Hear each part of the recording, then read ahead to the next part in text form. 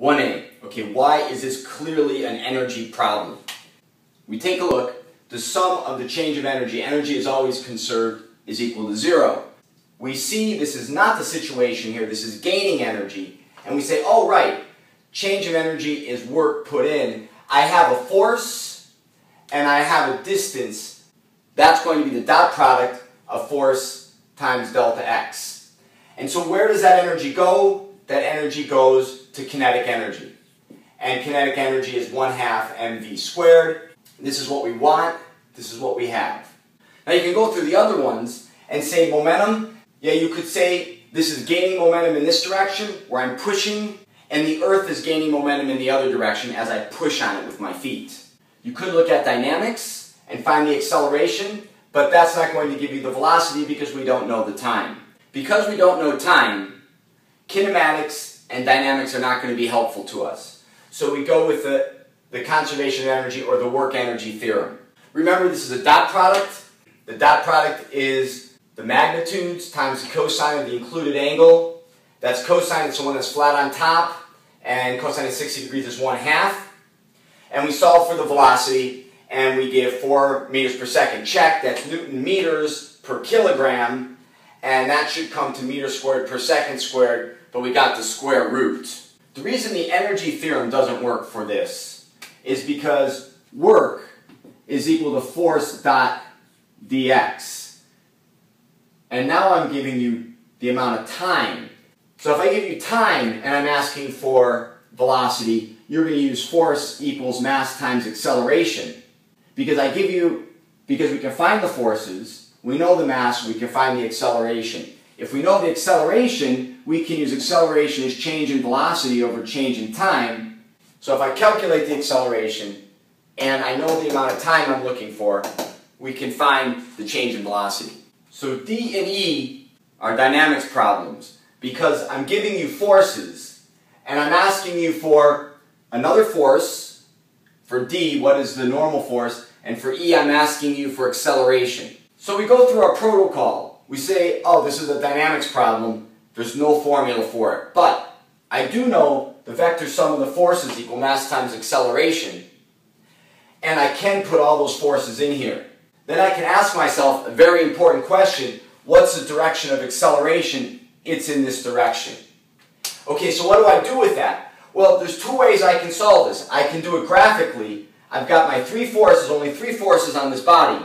Force of gravity, the tension, and the normal force. And I can say, oh, this is the direction of the acceleration, so the net force must also be in that direction. So these vectors have to add to something that goes straight that way. And so this has been drawn too big, and now I can see that the vector sum of my forces is equal to mass times acceleration. Or I can just say, let's do a component by component. The sum of the forces in the x direction equal mass times acceleration in the x direction. The sum of the forces in the y direction equal mass times acceleration in the y direction. Now I don't know the acceleration in the x direction, I want it. But I do know the force, the sum of the forces in the x direction. Because the only one, the only one of the forces in the x direction is the x component of the tension. And so this, the sum of the forces in the x direction, equal tension cosine theta. Tension is 80 newtons. Cosine of 60 degrees is 1 half. So this is equal to 40 newtons. And I can solve right away because I know the mass is 20 kilograms, and so I divide through, and the acceleration in the x direction is 2 meters per second squared. We already knew that from number 8 because it took us 2 seconds to go from 0 to 4 meters per second. And acceleration is change in velocity over change in time. The acceleration in the y direction is equal to 0. We can just write down all of our forces in the y direction, we have the force of gravity, we have the tension, and we have the normal force. Remember, we only want the y component of the tension, and so this is going to be tension sine theta. And so we've got mg plus tension sine theta plus the normal force equals the acceleration in the y direction is zero, so this is zero. I made a horrific deletion so far. I haven't looked at sine And we want to call this, I'm going to call this the positive direction. That's a positive y direction. And we call that the positive x direction. And so we look, force of gravity is negative. The vertical tension and the normal force are in the positive direction. So now I can solve the normal force is just equal to mg, how hard gravity is pulling down, minus the amount of tension that I'm pulling up with. This is 200 newtons. This is 80 newtons times the sine of 60. Sine of 60 is 0.87. 80 newtons times 0.87. That's about 70 newtons. 200 newtons minus the 70 newtons I'm pulling up with. Using this method, I get a horizontal acceleration of 2 meters per second squared, which we already knew from A and B, because acceleration is just equal to change in velocity over change in time, and we know we went from 0, we went from 0 to 4 meters per second in 2 seconds. And I get a normal force of about 130 newtons, meaning if you pulled this over a, a frictionless scale, that scale would read 130 newtons. Or in fact, they read in kilograms, it would guess that this mass is 13 kilograms and not 20 kilograms because you're pulling up on that rope. Then of course we can use kinematics. Now because we have a time, we pull it for 4 seconds, and we have an acceleration, we can just say, yeah, acceleration equals change in velocity over change in time, or the increase in velocity is just equal to acceleration times change in time. Right. I'm accelerating at 2 meters per second squared for 4 seconds. That's going to be 8 meters per second is my final velocity.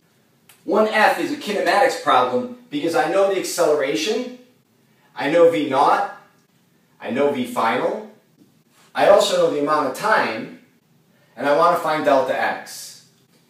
We could use our knowledge that the displacement, change of x, is the, is the integral of velocity dt, which is the area underneath the time velocity graph. And so I know what it looks like. It's got a slope of 2 meters per second squared, and I pull for 4 seconds. And at the end of 4 seconds, I'm moving at 8 meters per second. So this area is 4 seconds times 8 meters per second times 1 half.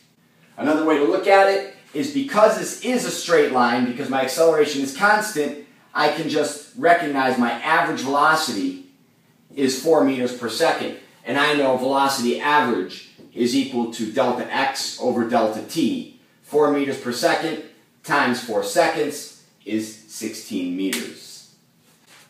For 1g, if I know the acceleration and I know the time, I can find the change in velocity.